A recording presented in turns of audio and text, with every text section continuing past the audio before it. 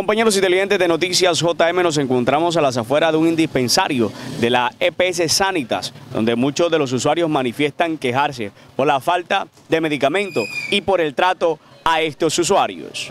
Y el 5 de octubre, de octubre a buscar un medicamento, me dan un pendiente, hoy vengo a reclamarlo, hoy 15 y todavía me dan otro pendiente porque no hay el medicamento.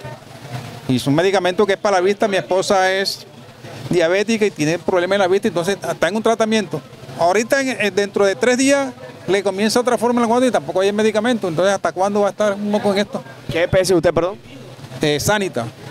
Y no soy, soy contributivo porque es que yo se está pagando un seguro porque uno necesita su medicamento a tiempo, no para que, no mañana, pasado, que llame, que venga, uno viene y nunca está el medicamento.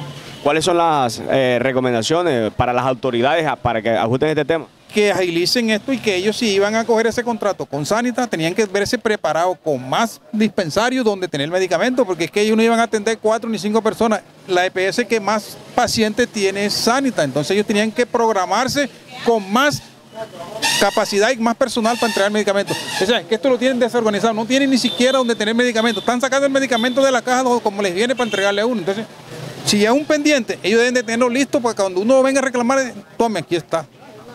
Mire, ve, lo que pasa es que yo soy hipertensa y el medicamento nunca lo hay, nunca lo hay. Y ahora me dan un ficho, el 140.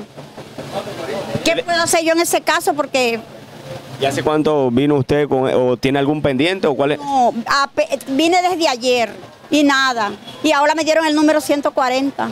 O sea, ¿la vienen atendiendo como a qué hora? Figúrese como a las 2 de la tarde y digo yo que vengo saliendo como a las 6 de la tarde porque me dieron el 140 y apenas van por el 6.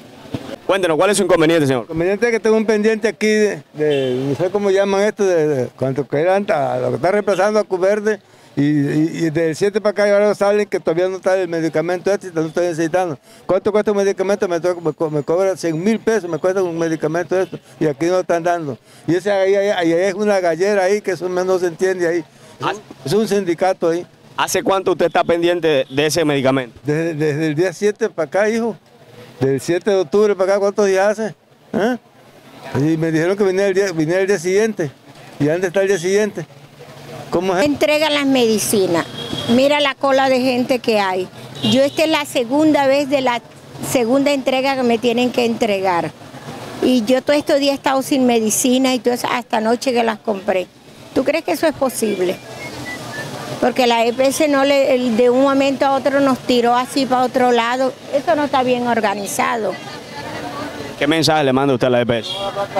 Que, que nos vea como pacientes, no como clientes, que somos seres humanos que necesitamos en esta situación, es que necesitamos las drogas, no es por querer uno está perdiendo el tiempo aquí.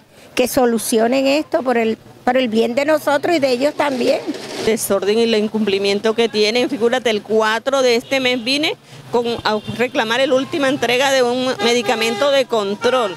Me, me pidieron, me llenaron un, pendiente, me pidieron mi dirección porque me llevaban a las 48 horas el medicamento a la casa. Mira, hoy estamos a 15, el medicamento no me ha llegado, vengo a reclamarlo y me salen con que el medicamento no lo hay todavía. Entonces me parece una falta de respeto. ¿Qué mensaje darle a, a la EPS? a la EPS que por favor nos solucione el problema de los medicamentos, que contraten, que si es posible que abren más dispensarios o que contraten con otra empresa, porque sinceramente yo estoy que me le retiro. Yo estoy que me voy para otra EPS. Sanita estaba súper mejor antes. Nos entregaban las drogas en Cruz Verde y, y como enseguida nos atendían. Pues Sanita, estamos en Sanita, que es una EPS eh, pues de alto nivel. Debe de ir para adelante, no para atrás. Ya, y mira la cantidad de gente que está ahí, los turnos, imagínate tú, nos los dan es de, prácticamente, si cogemos un turno en la mañana nos atienden hasta las 7 de la noche. No es justo, no es justo, de verdad que no es justo. No duraba, enseguida nos atendía yo con mi bebé, enseguida nos atendía. Aquí son la número 146. ¿Era mejor que? Cruz Verde, sin, ningún, sin duda alguna. Nos engañaron. Dijeron que nos iban a cambiar y fue peor.